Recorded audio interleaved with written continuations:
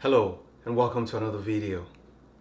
So I did a video um, on sine x using the definition of a derivative to find the derivative of sine x. Now this is the turn of cosine x and the process is exactly the same. So I'm just going to get down straight into it and we're going to have fun. Let's do it.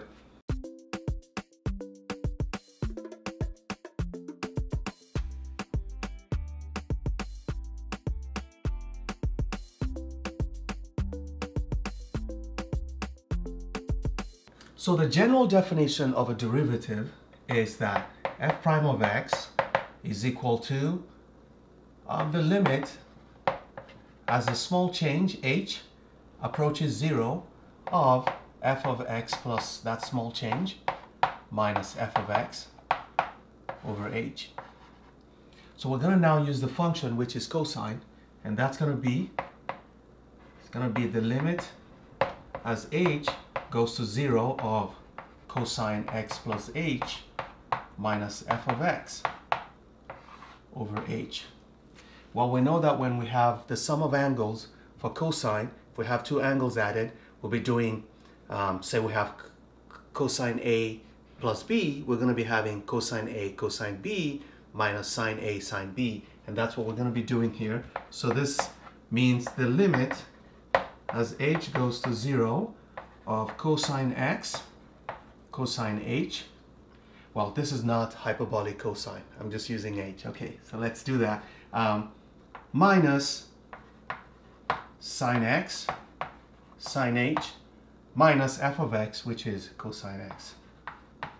Okay, and all of this will be divided by h. So what we could do is move cosines, the two terms that contain cosines together, and we're going to have this to be the limit as h goes to 0 of cosine x cosine h minus cosine x then minus sine x sine h over h. So I'm going to factor this now, take out the cosine h. So this implies um, the limit. Hey, we got to keep writing the limit. Never forget to write the limit. Otherwise, what you're writing is a lie.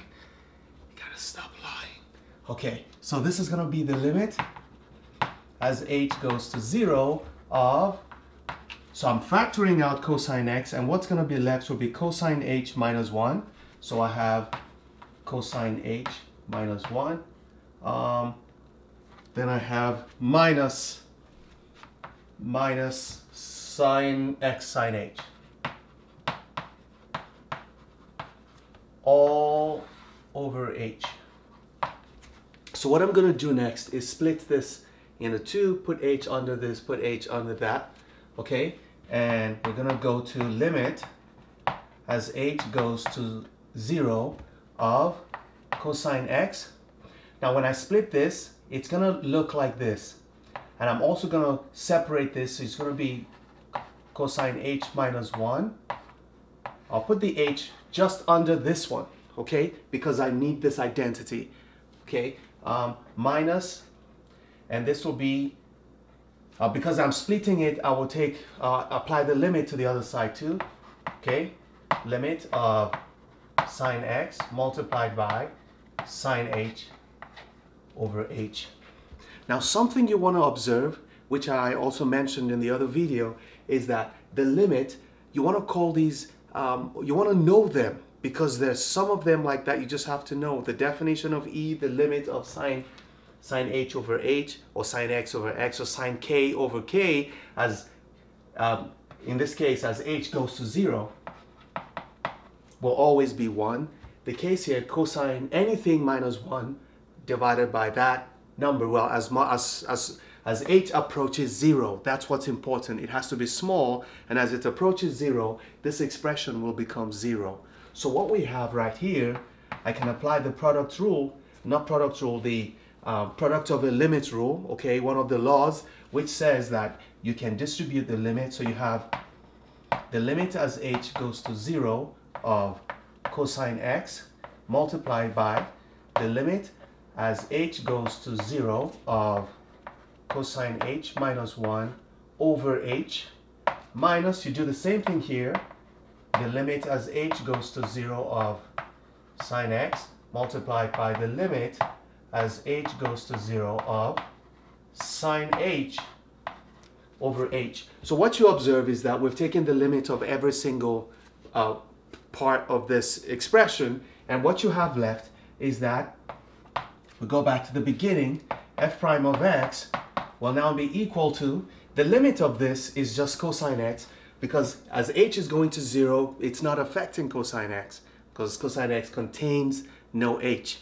Okay so that's going to be cosine x multiplied by well this is an identity limit. That's what I call it. You, once you see it you should recognize it as this is what's going to happen. So it doesn't matter what this is they could use any letter x theta whatever. If you have cosine theta minus 1 over theta as you take the limit as theta or h or whatever you're using goes to 0, then your answer is going to be 0. You can try that on your calculator. You see that you're tending towards 0. So this is going to be 0 minus. In this case, this sine remains the same because it contains no h. And in this case, the limit of this expression is 1. Okay? So that gives you 0 minus sine x, which is negative sine x. So f prime of x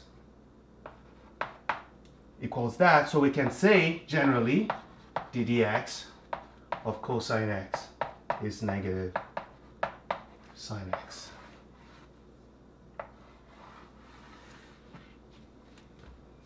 I hope you learned something in this video. If you did, give it a thumbs up. Give it a share. Leave a nice comment in the comment section. And never stop learning, because those who stop learning have stopped living.